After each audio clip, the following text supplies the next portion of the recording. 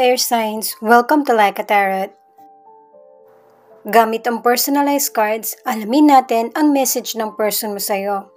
At kung kailan mo napanood ang reading na ito, yun ang start ng one week reading para sa'yo. Reminder lang guys na ang reading na ito ay general reading at guide po lamang. Hindi po magre-resonate sa lahat. Kunin mo lang yung akma sa sitwasyon mo.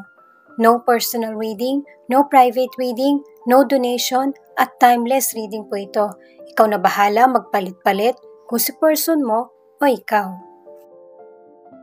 Angels and guides, please guide us ano ang message ng person ng mga air signs.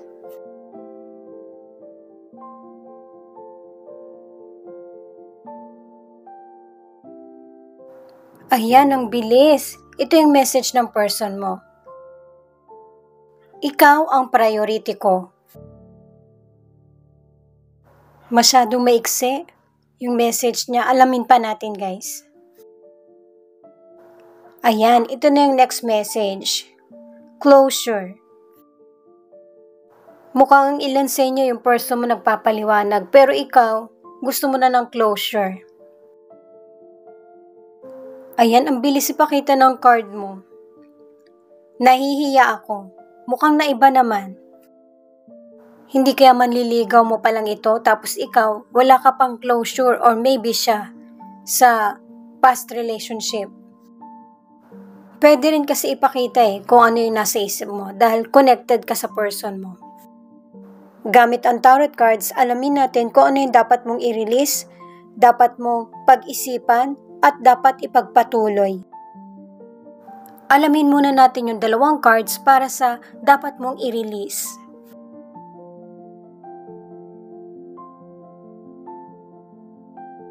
Ayan, nakadalawang cards kaagad tayo. At ang cards para sa dapat mong i-release ay Knight of Cups in reverse at Six of Cups upright. Ang advice ng cards na ito, may sitwasyon sa buhay mo na madidelay. At saka, mas maigi na i-enjoy mo yung relationship mo sa person mo para kapag may mga sitwasyon na makakadismaya sa iyo ay hindi gaano makakaapekto sa emosyon mo. At saka, ang advice pa ay i-release mo yung mga bagay na naiisip mo o nararamdaman para maintindihan ng person mo at hindi makakaramdam ng disappointment. Sa mga single naman, magkakaroon ka ng maraming oportunidad or makakilala ng iba't ibang person. At ang ilan sa inyo, makikita nyo kagad yung weakness ng person na ito. Pero syempre, hindi kailangan maghusga agad. Kailangan mo munang kilalanin maigi itong person na ito. Single ka man or nasa relationship, ipinapakita na may person na ng ghost sa'yo na magbabalik muli. Pero ang advice ng mga cards ay hindi kailangan isipin na magkabalikan kayo kaagad kasi may mga rason kung bakit nawawala yung person sa parte ng buhay mo at bumabalik. At ang ilan sa inyo na nasa relationship, ang advice ng mga cards na ito ay huwag mag-focus sa nakaraan or sa present na pagkakamali ang advice ng mga cards para ang relationship ng person mo ay magpapatuloy hanggang future, try nyo naman yung ibang bagay na hindi nyo pa nagagawa or napupuntahan. At saka ang ilan sa inyo, yung ipinapakitang past person, hindi naman ibig sabihin yung taong nakarelasyon mo lang, kundi yung mga kababata mo na pwede mong makita muli. May posibilidad na ikaw yung may in love sa person na to or siya yung may in love sa'yo kukuha ako ng isang card para malaman natin yung advice, career, health, at financial. Ace of Cups upright. Itong card na ito para sa mga nasa relationship, positive card ito. At ang ilan sa inyo na nasa relationship, kung maganda ang takbo ng relasyon nyo, kailangan mo itong ipagpatuloy. Sa mga single naman, ito yung time na mamimit mo yung soulmate mo. At itong person na to ay magkukumit at yung person na uunawa sa sitwasyon mo. Sa career, maganda yung ipinapakita kasi magkakaroon ng bagong oportunidad or trabaho. Ang ilan sa inyo sa financial, meron ka ng ibang trabaho pero nag extra work ka pa rin. Ang ilan naman sa inyo sa financial, tumatanggap ka ng extra work kaya may extra pay. Sa health naman, syempre, good general health. At kung may illness ka man, kailangan ipagpatuloy mo yung treatment mo para makakaramdam ka ng ginhawa. Ang ilan naman sa inyo may posibilidad na magkaroon ng baby. Ngayon naman guys, alamin natin kung ano yung message ng mystical cards sa iyo. Kukunin ko na to guys kasi dalawang cards yung kailangan natin eh. Ang unang card ay Patience. It is safe to wait.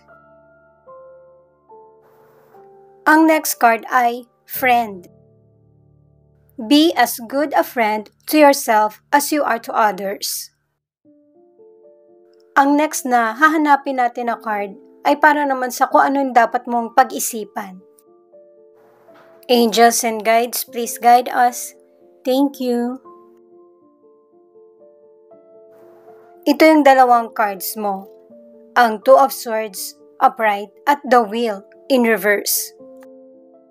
Ang ilan sa inyo na nasa relationship ipinapakita ng cards na ito na ang ilan sa inyo, dalawa yung person na karelasyon mo or kailangan mong mamili isa sa kanila.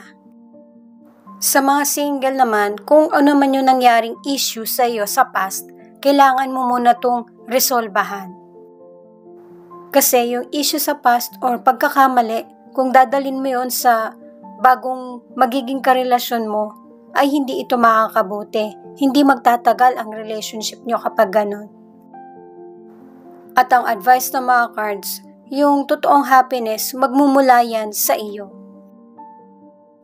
At saka ang ilan sa inyo na nasa relationship, may third party na gumugulo sa relationship nyo ng person mo. At ang advice ng mga cards ay kailangan humingi ka ng advice sa mga kaibigan or family mo. At sa mga nasa relationship, ang advice ng mga cards ay kailangan suriin mo or i-analyze yung priorities mo para nagkakaroon ng solusyon ang problemang dumarating sa relationship niyo ng person mo. Kailangan ng open at honest na communication para makaka-move forward at malalagpasan nyo ng person mo yung crisis na dumarating sa buhay nyo. Ipinapakita rin na ang ilan sa inyo hindi maganda yung sitwasyon, pero anuman ang problema mo, ito ay pansamantala lamang. Kukuha tayo ng isang card para sa advice, sa career, health, at saka financial. Angels and guides, please guide us. Thank you. Nine of Pentacles upright. Alam niyo ba guys, maganda itong card na to kasi para to sa peace and happiness sa relationship. Kumbaga, may understanding, love, at saka yung enjoyment. Para sa mga single na naghahanap ng karelasyon, darating yung love life na para sa'yo very soon.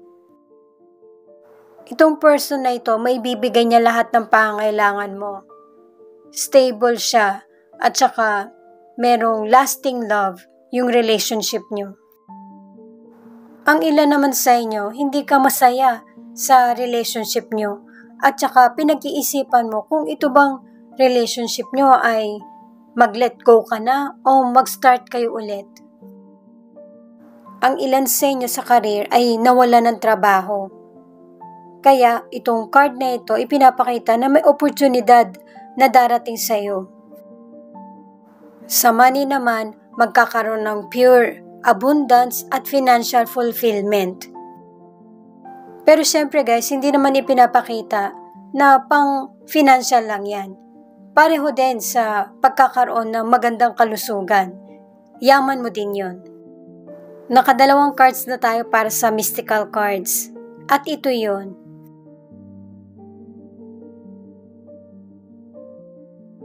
Love.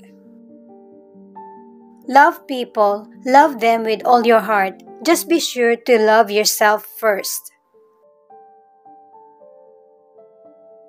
Decisions. Sometimes the best decision is no decision at all. Ang next card na hanapin natin ay patungkol sa kung ano yung dapat mong ipagpatuloy. Angels and guides, please guide us. Thank you. Ito yung mga cards para sa dapat mong ipagpatuloy ang The Death in Reverse at Three of Pentacles upright. Ang ilan sa inyo nakadalawang cards ka na para sa changes. Pero hindi naman lahat ng pagbabago na mangyayari sa buhay mo ay negative. Magiging negatibo lang naman yung sitwasyon kapag walang pagtanggap. Kasi guys, yung mga pagbabagong nangyayari sa buhay natin, favorable yan sa iyo. Para mas lalong mag-improve ang sitwasyon mo sa buhay. Ang ilan sa inyo na nasa relationship, yung relationship nyo ng person mo, nakadalawang cards ka na para sa pagkakaroon ng betrayal. Para sa mga single, hindi pa ito yung tamang time para maghanap ang ilan sa inyo ng bago makakarelasyon. Kasi, pwedeng cheater yung mamit mo or hindi pa siya ready para sa commitment. Ang ilang single naman, yung relationship niyo ng person mo ay magiging maganda ang takbo dahil na rin sa pareho kayo ng pananaw sa buhay at saka goal. Ang ilang single naman, mamimit mo yung potential partner kasi katrabaho mo siya. At ang ilan naman sa inyo na nasa relationship, ipinapakita na pinapahalagahan ka ng person mo. Alamin naman natin yung additional cards para sa career, health, at financial. Angels and guides, please guide us. Thank you. Ayan, ang card mo para sa advice ay King of Swords upright. Pero syempre guys, babasahin ko pa rin yung patungkol sa love. Ipinapakita na ang ilan sa inyo na nasa relationship, yung bang mapag-control yung person mo. At ang advice ng card na ito para matigil yung hidwaan na nangyayari sa relationship niyo ng person mo, mas makakaigi na pag-usapan kung ano yung issue na nangyayari sa relasyon. Single ka man o nasa relationship, yung pakiramdam mo kapag kasama mo yung person mo, yun bang stress ka dahil na rin sa behavior na ipinapakita niya sa iyo. Ang ilan naman sa inyo, sa career, kung gusto mong magpalit ng trabaho, pag-isipan mo muna tong maigi bago umaksyon. Sa financial naman, para hindi mo maramdaman na kulang yung financial mo, kailangan ng pagbabudget. Sa financial, kung meron kang pinangakuan, kailangan tuparin mo to. Sa health naman, kailangan maging maingat. Balanced diet, at saka exercise. Ito naman ang advice ng mystical cards sa iyo. Ang unang card ay move. A long walk is good for the soul. Get outside and allow Mother Nature to lift your spirits. Self worth. Why settle for crumbs when you deserve a whole meal? Kukuha pa ako ng tatlong cards para sa additional advice mo, lalo na sa hindi pa nagre-resonate. Alamin natin. Sa mga single naman, ipinapakita ng card na ito na makakamit ka ng person na may pareho kayong values at saka paniniwala. Sa career, ipinapakita na kailangan ng teamwork para mag improve ang relasyon sa mga katrabaho. Sa health, kung may problema ka, kailangan may disiplina para mapapabilis ang paggaling mo. Sa money, bago mag-invest, i-research mo muna para sigurado. The Star Upright, para sa mga single, may great love na paparating sa'yo. Sa mga nasa relationship naman ay happy times at saka ang ilan sa inyo ay magkakaroon ng baby. Sa mga naghahanap ng trabaho, darating ito sa iyo At ito yung magpapabago sa buhay mo, magbibigay ng pag-asa. Sa health ay good health. Sa financial, very positive. Magkakaroon ng swerte. Three of Cups in reverse. Para sa mga single, ipinapahiwatig ng card na ito na hindi darating yung person mo kung hindi ka makikisocialize. Ang ilan naman sa inyo na nasa relationship, nagkakaroon ng betrayal sa relasyon. Pero ang ilan sa inyo dahil sa may tiwala ka, hindi mo pansin. Sa career, ang advice ng card ay maging responsable. Sa health naman, kailangan mo alagaan ang sarili mo. Pagpahingahin mo rin yung isip mo, kumain at matulog ng sapat. Sa money, pwede ka naman mag-enjoy, pero kailangan ng limitasyon. Salamat nga pala guys sa mga nag-like, share, comment, and subscribe at pati na rin po sa mga nakikinig at nanonood. San man panig kayo ng mundo, ingat po kayo palagi. At saka dalawa lang ang social media account ko, ang TikTok at ang YouTube. Wala po akong MP3 na pwede nyo mapakinggan. Wala po. Ito naman ang angel number mo. Affirm. Never doubt the power of prayer. 111 Intuition Affirm, don't quit. Your angel is about to do something big. Believe and receive. Type Amen if you believe.